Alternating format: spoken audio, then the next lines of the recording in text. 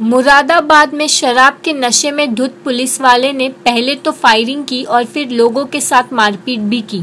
जानकारी के मुताबिक पुलिस लाइन में तैनात सिपाही अंकुर पर आरोप है कि उसने थाना सिविल लाइन क्षेत्र के पीएसी के तिराहे पर अपनी सरकारी इंसास राइफल से फायरिंग की। अंकुर पीएसी का सिपाही है। घटना के वक्त उसके साथ एक और साथी भी मौजूद था। पुलिस ने दोनों को गिरफ़्तार कर लिया। ये घटना थाना सिविल लाइन के पीएसी तिराहे के नज़दीक शराब दुकान की है। मुरादाबाद पुलिस ने इस मामले में मुकदमा दर्ज कर आरोपी सिपाही और उसके साथी को गिरफ़्तार तो कर लिया लेकिन कैमरे के सामने आने से कतरा रही है। जी। इंसाफ फिर?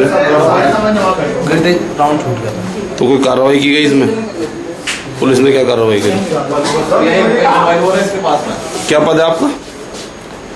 कांस्टेबल को कहाँ पर तैनात है? क्या राउंड चली? ये सब जमा हो जाए कैमरा लगा एक राउंड चली। जैसे आरोप लगाया जा रहा है कि आप दबंगी कर रहे थे शोर शराब कर रहे थे।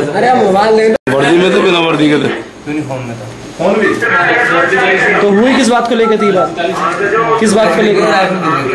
इंसाफ से देते मेरे मारा पीटी नहीं हुई आपको धर्मेंद्र सिंह किस नाम से ठेका है? ये? आदत सलोनी क्या हादसा हुआ यहाँ पे कैसे फायरिंग हुई? यहाँ साहब सुबह झगड़ा हुआ जी।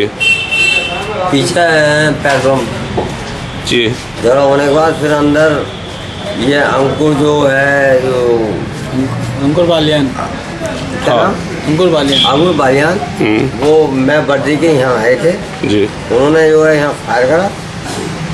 बगल लगाया जो शर्मा जी के कांस्टेबल जो कोई उनके यहाँ लगाया था। उन्होंने जो है किसी और दूसरे आदमी ने ऊपर कर दिया।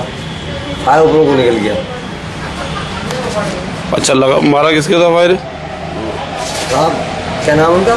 Head constable Ajvendra Sharma. Arvind Sharma था अच्छा हुआ क्यों था ये मामला? झगड़ा इनका आपस में? झगड़ा सब सुबह हुआ, मेरे बल्कि मैं चाय ने, चाय मेरे चार्ज लेने से पहले झगड़ा हुआ गया।